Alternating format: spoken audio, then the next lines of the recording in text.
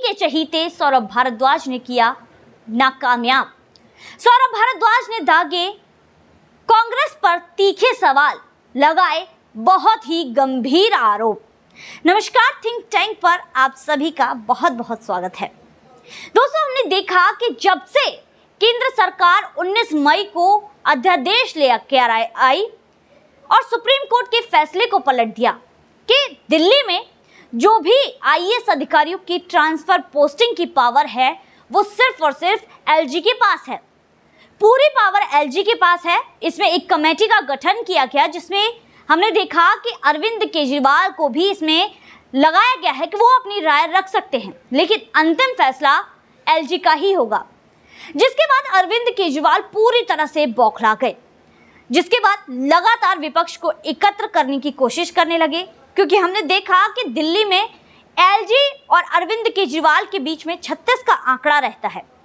जिसके बाद अरविंद केजरीवाल एलजी के निर्णय को मान ले, ये उन्हें स्वीकार नहीं होगा, जिसके लिए वो अध्यादेश को रोकने के लिए लगातार विपक्ष को इकट्ठा करने की कोशिश कर रहे थे और लंबे लंबे सफ़र तय कर रहे थे। हमने देखा कि यहाँ पर दिल्ली से मुंबई, दिल्ली से लखनऊ, दिल्ली से हैदराबाद और भी कई जगह राहुल, जो अरविंद केजरीवाल है, वो मुलाकात के लिए विपक्ष के नेताओं से गए, जिसमें जो विपक्ष के नेता हैं, वो बिल्कुल ही गजनी बन गए। यानी कि सीधे तौर पर सटीक बात करें तो ये जो विपक्ष के नेता है, ये वो भूल गए कि कभी अरविंद केजरीवाल इनके ऊपर आरोपों की बौछार किया करता था और पूरी लंबी लिस्ट आरोपों की बनाकर इनके खिलाफ घूमा करता था। बड़े बड़े आरोप अरविंद केजरीवाल के द्वारा ही लगाए जाते थे। ऐसे में हमने देखा कि शरद पवार, अरविंद केजरीवाल के साथ अध्यादेश यहाँ पर देखिए सिर्फ़ और सिर्फ़ नरेंद्र मोदी के खिलाफ जाने के लिए ये भूल गए कि ये वही अरविंद केजरीवाल है जो कभी इन पर आरोप लगाया करता था। जिसके लिए ये सारी चीज़ें भूलकर अरविंद केजरीवाल के साथ जुड़ने लगे। शरद पवार जो भूल गए कि उनके खिलाफ कितनी अभद्र भाषा का प्रयोग करते हुए अरविंद केजरीवाल बोला करते थे, आरोप लगाया करते थे। अखिलेश यादव भूल गए कि उनके पिता मुलायम सिंह यादव पर कैसे कैसे आरोप इसी अरविंद केजरीवाल के द्वारा लगाए गए थे। तेजस्वी यादव भूल गए कि इनके पिता लालू प्रसाद यादव पर कितने तीखे सवाल, कितने तीखे आरोपों की बौछार, यही अरविंद केजरीवाल किया करते थे। लेकिन सिर्फ़ और सिर्फ़ नरेंद्र मोदी जी का विरोध करने के लिए यहाँ पर ये सारे ही नेता अरविंद केजरीवाल के साथ जुड़ने लगे। अब सीधे तौर पर देखा जाए तो एक ऑफ़र अरविंद केजरीवाल ने कांग्रेस को भी दिया कि राहुल गांधी और उनकी कांग्रेस पार्टी के अध्यक्ष मल्लिकार्जुन खड़गे थोड़ा समय दें और अरविंद केजरीवाल से इसके बारे में मुलाकात करें। लेकिन राहुल गांधी ने केजरीवाल को पीठ दिखा दी। राहुल गांधी ने केजरीवाल के साथ मुलाकात नहीं की और सीधे सीधे वो विदेश भाग गए। जिसमें विदेश में तो क्या ही गुल राहुल गांधी ने खिलाए, अपने ही देश का अपमान किया, सबने देखा। लेकिन यहाँ पर वो कहते हैं ना कि खिसियानी बिल्ली, खंबा नोचे। अब यहाँ पर वही खिसियानी बिल्ली है। एक तरफ़ तो केजरीवाल की अब भी उम्मीद नहीं टूटी है कि अभी भी राहुल गांधी और मल्लिकार्जुन खड़गे से मुलाकात हो सकती है, जिसके लिए 23 मई को फिर से विपक्ष को एकत्र करने के लिए एक कार्यक्रम 23 जून को आयोजित किया जा रहा है। लेकिन अब भी अरविंद केजरीवाल की कहीं ना कहीं उम्मीद है, वो टूटी नहीं है।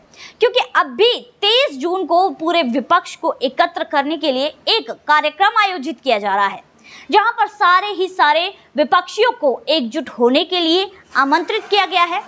और ज़ाहिर सी बात है कि यहाँ पर अरविंद केजरीवाल समेत सारे विपक्षी नेता होंगे। आशंका ये भी जताई जा रही है कि यहाँ पर राहुल गांधी और मल्लिकार्जुन खड़गे भी आने वाले हैं, जिसके बाद जो केजरीवाल को उम्मीद है उन पर पानी फेरने का काम किया है सौरभ भारद्वाज ने। सौरभ भारद्वाज ने तीखे सवालों की बौछार कांग्रेस पार्टी पर कर दी है और आरोप लगाए हैं कि कांग्रेस पार्टी तो आम आदमी पार्टी को कॉपी कर रही है। खैर दोस्तों, इन सब के बाद अब अरविंद केजरीवाल की इस कोशिश को ना क्या कामयाब कहें, पूरी तरह विफल कहें, या फिर कहें कि उनकी किए कराई पर पानी फेरने का काम सौरभ भारद्वाज ने कर दिया है।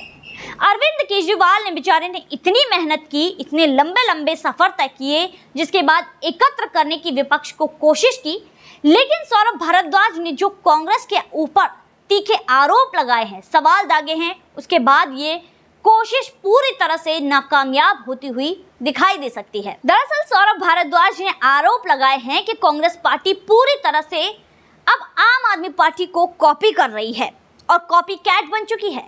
सौरभ भारद्वाज ने कहा कि भैया, जो कर्नाटक में आम आदमी पार्टी के जो नियम थे, उनके जो पैतरे थे, उनका इस्तेमाल करके कांग्रेस पार्टी ने जीत हासिल की है। हमें कॉपी किया है। जैसे कि दिल्ली में जो फ्री बस सेवा महिलाओं के लिए चलाई गई, वैसे ही फ्री बस सेवा के वादे कर्नाटक में कांग्रेस पार्टी ने किए। वहीं दूसरी तरफ़ बाकी चीज़ें, जैसे कि दिल्ली में फ्री बिजली दी जा रही है, फ्री बिजली के वादे कांग्रेस ने कर्नाटक में किए। इसके अलावा फ्री पानी के वादे भी कांग्रेस ने कर्नाटक में किए, जो कि सारे के सारे पैतरे यहाँ पर आम आदमी पार्टी के ही थे।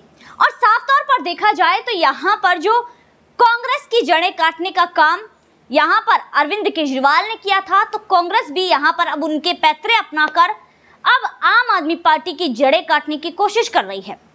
हमने देखा कि अगर राहुल गांधी यहाँ पर राज़ी हो भी जाते हैं, लेकिन आधे नेता ऐसे हैं, कांग्रेस पार्टी में जो बिल्कुल भी राज़ी नहीं होंगे कि किसी भी तरह जो ये आम आदमी पार्टी के साथ कांग्रेस पार्टी आए और कांग्रेस पार्टी अध्यादेश को रुकवाने के लिए आम आदमी पार्टी का साथ दे। क्योंकि यहाँ पर उनके नेता नाराज़ है और यहाँ पर चीख चीख कर कह रहे हैं कि जैसे दिल्ली और पंजाब में कांग्रेस पार्टी की जड़ें काट कर यहाँ पर अरविंद केजरीवाल ने उनकी आम आदमी पार्टी ने सरकार बनाई है। वैसे ही फिर से ये लोग कर सकते हैं और कर भी रहे हैं। आगे जाकर अब चुनाव आने वाले हैं।